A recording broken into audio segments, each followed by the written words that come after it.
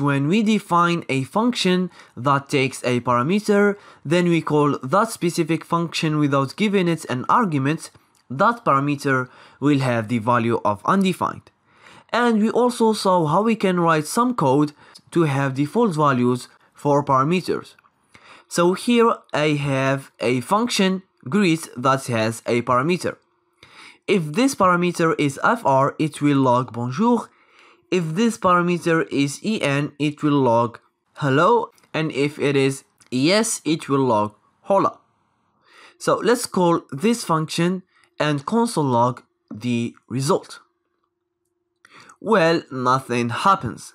That's because we are calling this function with no arguments. The length parameter is having the value of undefined. And here when it enters the conditional statement, undefined is not equal to fr, undefined is not equal to en, and undefined is not equal to es. So nothing will happen. So let's console log the parameter here.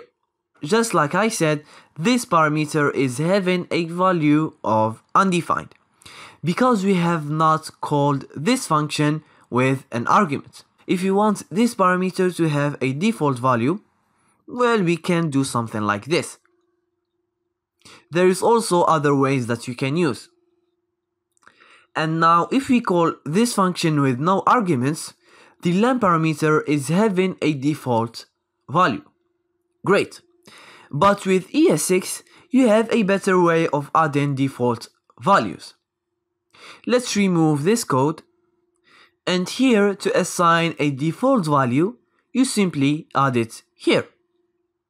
This len parameter will have a default value of en. So now when we call this function with no arguments, English will be the default value. If we call it with es, it will say hola, and if we call it with fr, it will say bonjour. Great.